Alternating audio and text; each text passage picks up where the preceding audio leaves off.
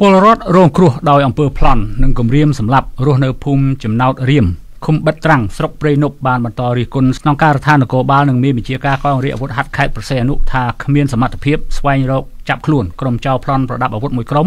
ដែលចូលប្លន់និងដុតផ្ទះពលរដ្ឋកាលពីថ្ងៃទី8ខែសីហាឆ្នាំ2021យកទៅផ្ដន្ទាទោសនោះទេបទល្មើសប្លន់ប្រដាប់អាវុធនេះក្រុមពលរដ្ឋសង្ស័យថា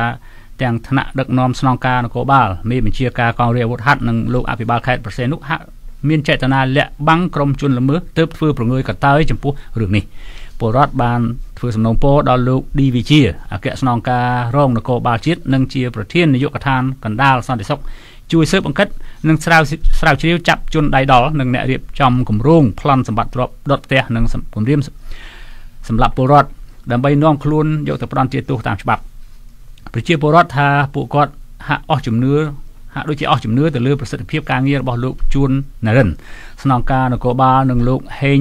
ប៊ុនទីមេបញ្ជាការកងរាជអាវុធហត្ថខេត្តប្រសេនុថានឹងអាចចាប់ខ្លួនជនល្មើសមកផ្ដន្ទាទោសបានអ្នកភូមិសង្ស័យថាមានថ្នាក់ដឹកនាំនៅខេត្តនៅក្រៅហេតុការណ៍នេះដោយហេតុថាគោលបំណងធំរបស់អ្នករៀបចំគម្រោងប្លន់នេះគឺដើម្បីបណ្ដេញពលរដ្ឋឲ្យចាកចេញពីលំនៅឋានរួចប្លន់យកដីដោយចោទពួកគាត់ ថាជាជនអនាធិបតេយ្យចូលមកសង់ផ្ទះរស់នៅលើដីរដ្ឋខុសច្បាប់ទោះជាបែបនេះក្តីពលរដ្ឋបានធ្វើសំណូមពរដល់លោកសខេងរដ្ឋមន្ត្រីក្រសួងមហាផ្ទៃនិងលោកហ៊ុនសែន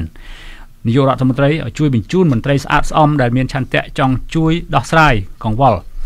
ជូនពលរដ្ឋពិតប្រាកដឲ្យចុះស៊ើបអង្កេតស្វែងរកចាប់ខ្លួនក្រុមជនល្មើសក្នុងអំពើប្លន់ប្រដាប់អាវុធនិងអ្នករៀបចំគម្រោងប្លន់នេះផង កាលពីថ្ងៃទី8ខែសីហាឆ្នាំ2021ពលរដ្ឋរស់នៅចំណុចភ្នំត្រងោលស្ថិតនៅក្នុងភូមិចំណោតរៀមឃុំបិទត្រាំងស្រុកព្រៃនប់បញ្ជាក់ថាមានក្រុមចោរប្លន់ប្រដាប់អាវុធមួយក្រុមមានគ្នាច្រើនអ្នកប្រដាប់ដោយអាវុធវែងនិងឧបករណ៍ប្រព្រឹត្តបទល្មើស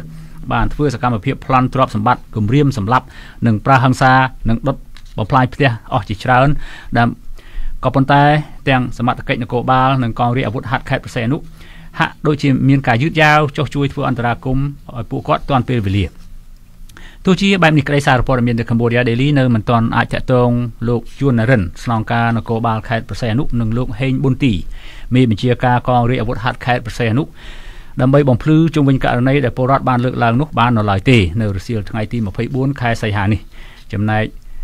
លោកគួចចម្រើនអភិបាលខេត្តប្រសេនុក៏មិនអាចតាក់ទងដើម្បីបំភ្លឺបាននៅឡើយដែរ Música